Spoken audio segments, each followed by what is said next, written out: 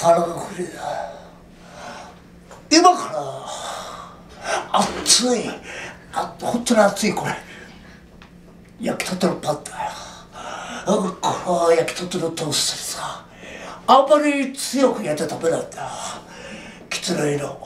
なんできつね色っていうか知ってるほんのり焼けて表面が